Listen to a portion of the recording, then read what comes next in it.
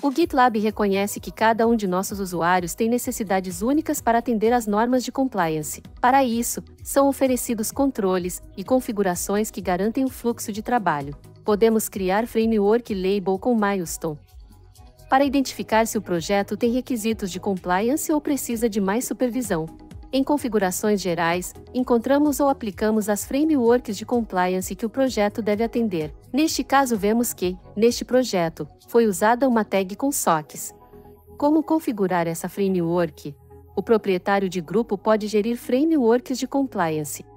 Nas configurações gerais do grupo, podemos adicionar ou editar frameworks. Vamos editar o primeiro. Aqui, o proprietário do grupo pode especificar a localização da configuração do pipeline de compliance. Este pipeline define requisitos de compliance, como scans ou testes. Ao voltar ao nosso grupo principal, podemos ver que o GitLab aplicou a tag que definimos no framework de compliance.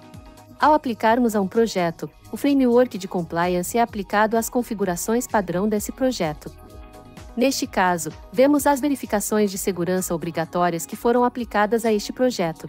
Sempre que um pipeline é executado ou um commit é feito no código, as tarefas definidas no pipeline do painel de compliance serão executadas no projeto. No topo do pipeline de compliance, também podemos gerenciar a licença e pesquisar dependências dos projetos. Podemos também permitir ou negar o uso de cada uma das licenças. Se sua aplicação usa uma biblioteca de código aberto com licença incompatível com a sua, você pode negar o uso dessa licença. As equipes de compliance do GitLab são de confiança. Seus controles e requisitos serão configurados corretamente.